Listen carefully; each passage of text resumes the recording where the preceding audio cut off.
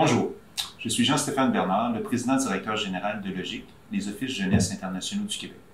Je suis vraiment très heureux aujourd'hui de souligner la signature de cette entente entre notre organisation et l'ACFAS. Je tiens tout d'abord à souligner la contribution de la directrice générale de l'ACFAS, Mme Sophie Montreuil, à cet égard. Lors de notre première rencontre, dès son entrée en fonction, j'ai rapidement constaté une dirigeante dynamique, visionnaire et orientée vers les résultats.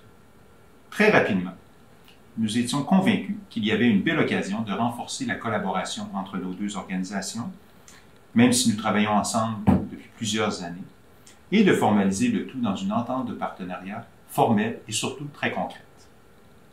Je tiens à remercier Sophie son équipe, ainsi que notre directrice des partenariats, Mme Geneviève Lambert, ainsi que plusieurs collaborateurs de Logique, qui ont travaillé très fort au cours des derniers mois pour élaborer une entente qui va nous permettre de multiplier nos actions communes et qui sera surtout très bénéfique pour les jeunes chercheurs du Québec.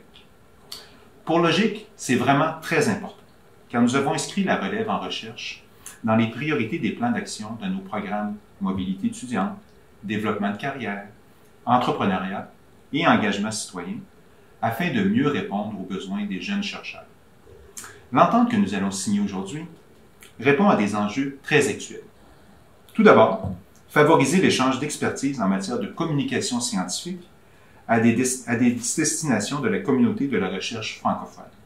Également, accroître la participation de jeunes du Québec à d'éventuels événements scientifiques et sur des thématiques actuelles, telles que la lutte contre les changements climatiques et la gestion de l'eau. Il importe de souligner que nous visons notamment à accroître la participation des jeunes des Premières Nations et des jeunes Inuits du Québec à des événements scientifiques, ainsi qu'à favoriser les échanges et collaborations entre la relève scientifique francophone québécoise et la relève scientifique francophone hors Québec.